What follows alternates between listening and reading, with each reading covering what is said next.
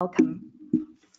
Hello everyone, and in this webinar we're going to talk about battery testing methods, procedures, and of course standards.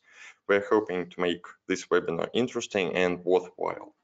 And first of all, we need to talk why do we need vibration testing during the battery development and so on. As you know, lithium ion batteries are gaining popularity now and uh, they are commonly used for electric vehicles and during their lifespan these batteries can um, undergo a variety of vibrations, temperature changes, shocks, uh, and so on. Also, um, you may know that battery design is really complicated and during this development process, we need to take um, all safety risks, risks and no non-stationary vibrations into account.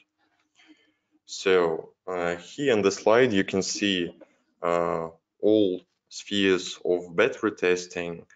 Uh, battery testing includes durability tests, uh, for example, using vibration tests like random and fatigue damage spectrum, abuse damage and crash tests, altitude simulations, thermal tests. Um, it can be external short circuit tests, vibration tests, and of course, drop tests. Um, and vibration tests can be usually combined with thermal and climatic testing. Uh, doing all these tests, we can check our battery under test for its parameters and its safety requirements. Uh, in this webinar, we are going to talk mainly about vibration testing and an ability to combine it with climatic and thermal tests. Now let's talk a little bit more about the equipment. Uh, for battery testing, I recommend to use our RULA RLC21 controller uh, it has four inputs, two outputs, an LCD screen, and it's scalable up to 32 input channels and eight output channels. It's a regular uh, RULA controller. It's the most common one, but it will cover all your needs. Uh, but if you want to scale up your system, you can use RULA RLC21 control uh, 21 M controller. It has two options with eight and four input channels.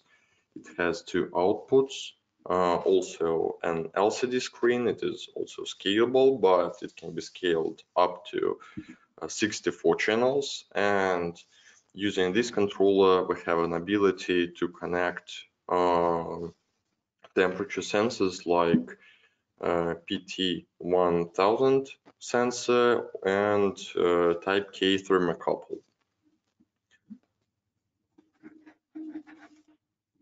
Uh, using uh, our uh, desktop, we can work with such uh, equipment like climatic chambers. You can see them, them on the left side we support Modbus TCP protocol, and now we can work with such climatic chambers like XIR, um, HORAD, uh, Shanghai Electric, and ATAC. But if you want uh, some other climatic chamber and you have a specification for it, uh, you can write us an email and we will implement it into the software. It's um, it's not a problem. So if you need this feature, we have it. Also, we have an ability to control uh, power amplifiers using Modbus TCP protocol.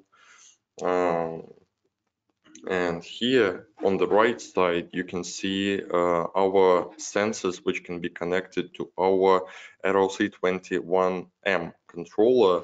It has uh, two connectors on its back side and using uh, the sensors, you can uh, create a temperature and humidity graphs um, during the test and get the data and analyze it. Uh, also, uh, during um, our battery testing, we need to take care of our safety tools. On the left side, you can see a sand hopper. It can be used while we trying to damage our batteries and it's used to stop the fire by dropping the sand. Uh, and on the right side, you can see um, protection chambers. Um, they can protect uh, an engineer or um, a tester from an explosion of the battery and sometimes uh, such situations appear so you need to be prepared for this while testing your batteries. Um, now uh, let's talk a little bit more about the test types. Uh, we have four main uh, tests during the battery testing. Uh, we usually run sine random shock and transient capture options uh, but in some cases, like some inner company standards, uh, we can use some sine and random on random tests, which will help us to combine sine and random. We can use advanced sine for speeding up the test. It is widely used in automotive. For example, um, some uh, car manufacturers use uh, multi, multi-sine sweep speed up the test. Uh,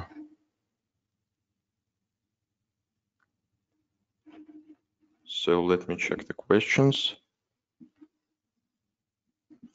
Uh, here we see it. Uh, yes, so the first question, our battery testing for vehicle level will be explained in the webinar as well. Uh, in this webinar, I'll try to cover all um, abilities for battery testing uh, for for example like uh, automotive and we will have a user case um, it will be in the end. So all these test types features can be applied uh, to the whole sphere of battery testing and if you wish you can use it in automotive. Uh, let's talk uh, let's continue with the test types. Uh, as I mentioned, uh, we have an ability to use advanced sine option to speed up the tests. We can use fatigue test for resonance search and analysis. We can extend shock with shock response spectrum and TTH shock tests, which will help us to create an advanced shock waveforms. And if we need to, we can use a fatigue damage replication test for real life events replication. Also, I need to mention that in some cases and in some standards, we need to use multi-shaker tests. We will talk about it today. And um, some standards need to uh, influence our object in a multi-axis way. So now about the standards. Here we have the most common standards in battery testing like SAE uh, J2464. It's for electric and hybrid electric vehicle rechargeable energy storage systems. Today we are going to talk a little bit more about SAE J2380. It's single battery durability tests and uh, I'll show you in the profile examples. Also, we have here an UL 2054 test and certification for battery packs. Um, we have another standard from this type, and of course, we have MIL STD 810H. It's a military standard for environmental testing. And for example, you may know such standard like GMV um, 16390. It's um, an linear General Motors battery testing standard. Um, today, I'll show you some pre-created pre-created tests which can be created in our TestUp software from the template. And um, if you wish, we will expand this um, pre-created templates in further versions. Um, you can send us your profiles and we will create templates and add it in our software. Now, we're going to talk about our first profile. It's a sine profile from SAEJ2380. It's regular sine. Here you see the profile. We're going to run from 10 Hertz up to 1000 Hertz at 1G uh, level. Uh, and here we have our tolerance lines at 6 decibels level.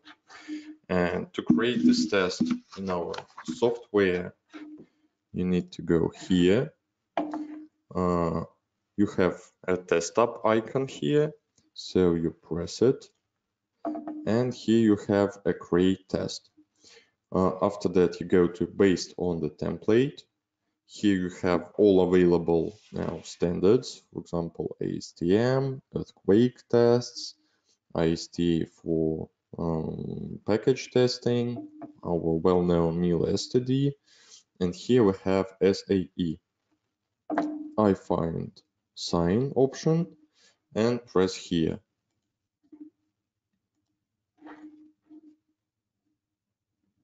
And here you see our profile is created automatically from the template.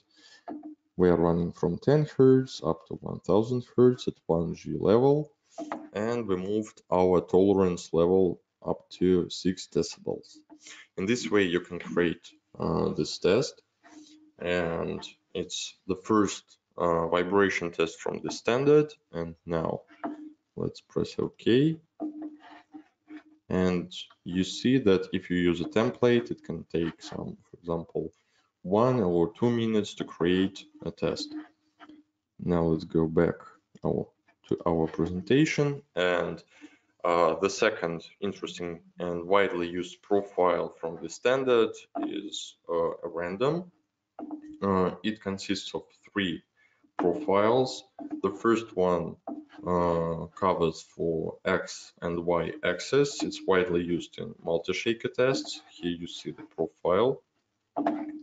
And for the Z axis, we have another profile both of the profiles run from 10 Hertz up to 1000 Hertz. Uh, it's the most basic vibration range. Uh, and to create this in our software, also press this button, go to templates and find our random.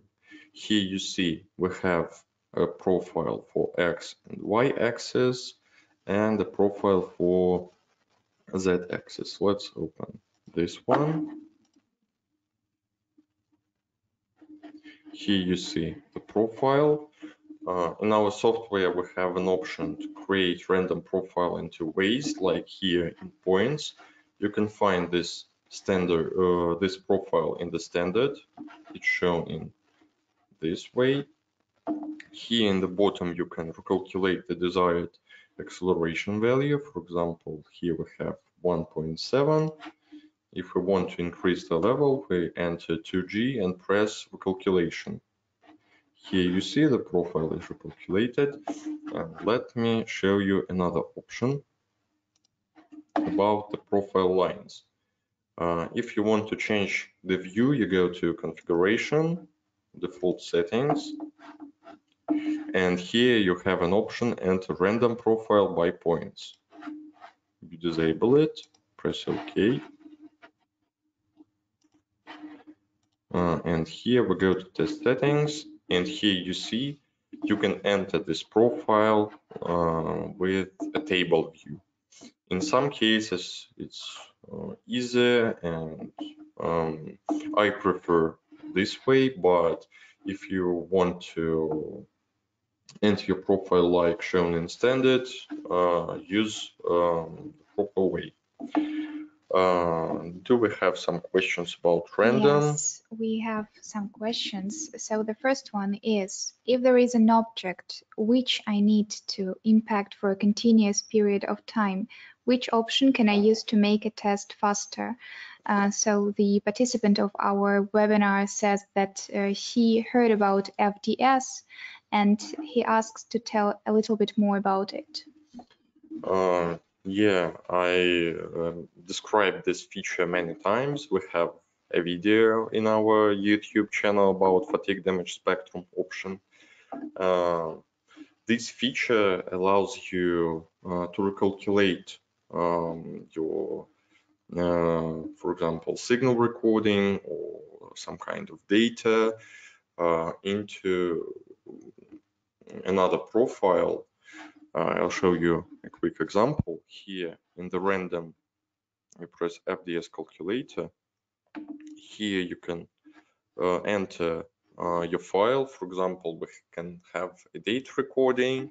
We enter it here, and for example, um, this date recording durates for uh, one hour. And uh, to um, test our object for durability, we need to run this test, for example, for five days. But we don't have such time and we want to test our object uh, faster. So we enter uh, our desired durability. And for example, in that case, we can convert uh, five days test to, example, five hours duration test. Um, these calculations are based on Palmgren-Miner rule and um, we have some additional options here. They are based on Palmgren-Miner. And if you want some more information about this feature, watch our video. It's, it has a detailed explanation about this feature. And it's widely used during durability tests and checks. And um, maybe one day we will make some uh, user uh, cases about this feature. It is used in aerospace and automotive. So uh, this feature is really interesting. It can save you time and um, I recommend you to use this feature for um, minimization of test run time. And there is one more question also. Can we answer it at the moment? Yeah. yeah. Okay, so uh, do you have something like kurtosis, control or kurtosis settings in your software?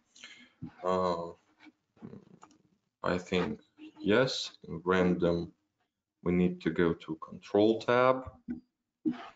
And here we have a kurtosis option. We enable it press the settings. And here uh, we can set uh, the kurtosis coefficient and its gain. And um, these values will be applied during the test run and um, you can use it during the random test. Also, um, now let's create another test for standards. Let's disable kurtosis. And our final test will be MIL-STD shock. We have three of them. Let's create a regular half sine.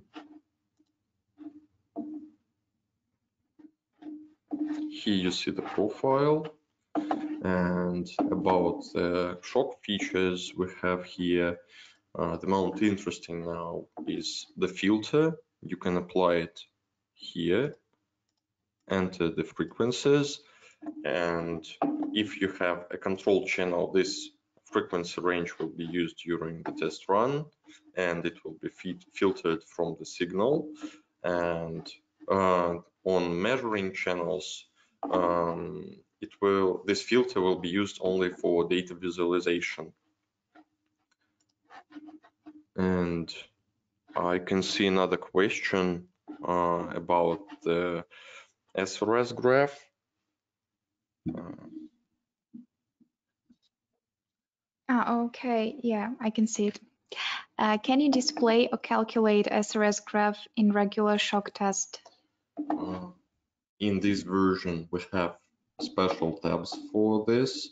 Uh, it was implemented because our, our users requested it and here after you fill pulse and schedule for shock tests you can enter your SRS table here and you need to enable use SRS table here. And after that, you need to enter analysis parameters and enable make SRS calculations. Uh, in that case, you'll be able to create SRS versus frequency graph during the test run. And uh, I need to tell you a, bit, a little bit more about another interesting feature. It is widely used during uh, the drop tests. It is called uh, transient capture. Um, usually we recommend it to combine it with the shock test. So you have two systems. One of them is making shocks, or you can have a drop machine. And another one is used for transient capture analysis. In that case, you connect your uh, measuring sensors to the system. You won't generate any signal. And after the drop, uh, you'll collect uh, the data and you'll be able to analyze it. So uh, I recommend you to combine these features with shock tests and you'll get the best results. And now after we describe some main profiles, we can go to um, another interesting topic. I want to tell you a little bit more about uh, user experience company named Goshen is an American company with branches in Japan, Singapore, and China. Uh, they uh, try to create and they uh, make next generation of uh, battery packs. They are environmentally friendly and they are widely used for um, electric vehicles and storing energy. So they need to perform vibration testing during the development so, uh, and of course, they need to test the reliability of these battery packs. Um, and um, here you see uh, the requirements for the system. Uh, the first option uh, was to allow the user quickly set up the test, switch between the tests and test types. So uh, I showed you that our software can create templates, go between the tests really quickly. Also, uh, they uh, wanted to have a built-in charge, uh, charge, amplifier for the charge sensors. Uh, as you know, all our controllers has a built-in charge amplifier and uh, a final point was uh, to make a system which will, won't be rather complex. Uh, so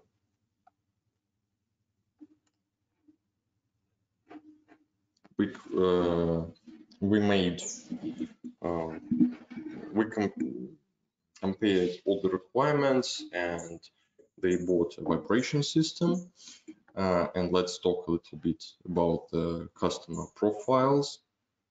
And the first pro profile is a regular sine sweep with the resonance search. It's our basic 10 hertz up to 1000 hertz sweep.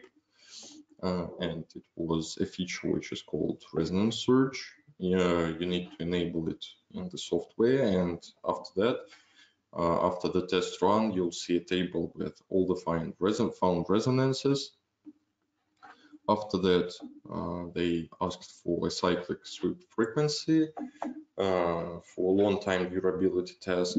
Uh, we have uh, a large variety of options in sine schedule, so you can create all kind of sweeps. So you can create step sweeps and hold frequencies. So uh, our uh, sweep sine module covered all this um, feature request. And finally, uh, they sent us a random test profile for long time durability. Here you see the profile. Uh, uh, they run it at uh, 5 hertz up to 200 hertz. And in that case, uh, you can perform a durability analysis so I think uh, that's all about the tests. And another interesting feature that uh, they uh, used our uh, demo mode, um, which helped us to um, calculate the profiles on site, make some uh, pre-calculations like uh, mass values, maximum acceleration, velocity, and displacement, and um, also we uh, covered the uh, shake database requirements and it's really easy to use. And now I think we have some more questions. Yes, so uh, the first is how many control channels can we have at the same time? Uh, it is based on the controller for RLC21 and RLC21M. You can have as many control channels as you have on your devices. For example, the maximum control channels for uh, eight RLC21s will be 32 and for RLC21M it will be 64 and um, I'm sorry, there is one more question regarding control channels. So uh, can we set notching limits on control channels? Uh, yeah, we can set uh, notching on control channels and uh, I want to say some more words about the previous question about the number of control channels. And if we have RLC 25, uh, we, we can have uh, as many control channels as we have on our controller. And I need to mention uh, it must be only a master controller if we have um, a system which combines um, um, some number of these controllers. Uh, it is based on the synchronization type between the controllers and uh, I think um, um, we have do we have more questions now? No. Uh, and some words about multi-channel control. Uh, as I know uh, in some cases in random uh, we have a large testing object like a battery pack uh, and we place uh, sensors on different angles. Some sensors in the center. And in that case we can enable all these sensors as control and um, we will get uh, the higher precision during, during the test run. So I think this option is rather important and can be used during the battery testing.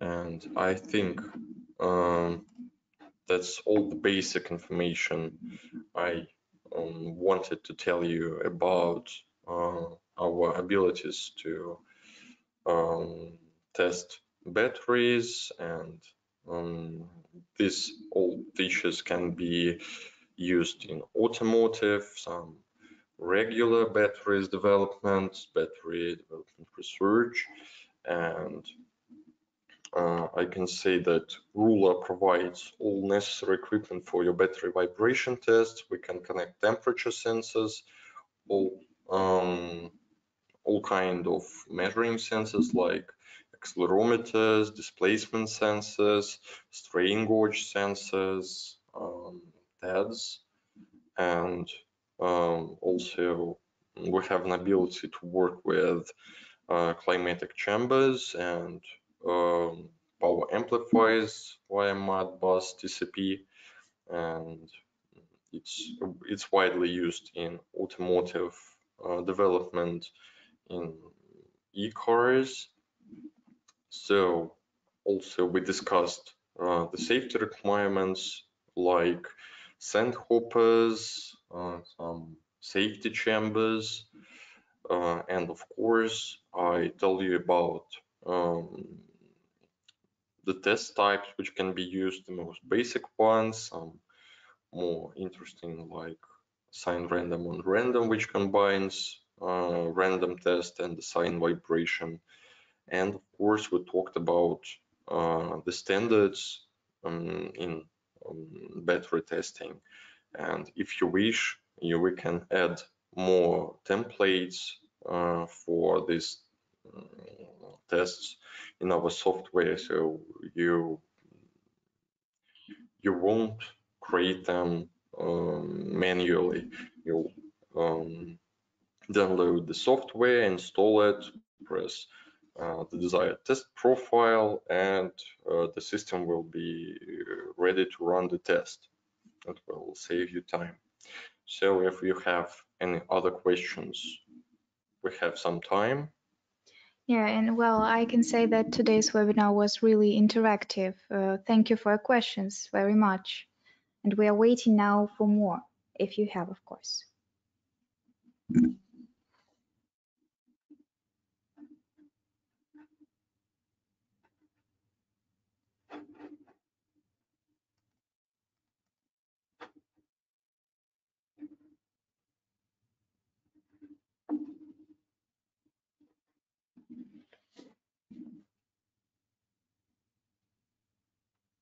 So if you uh, don't have questions now, you can send us an email with questions about battery testing, some requirements uh, or your specifications, and our team will help you uh, to find um, the, the, system or the configuration which will uh, fit your requirements. So write us if you need some help.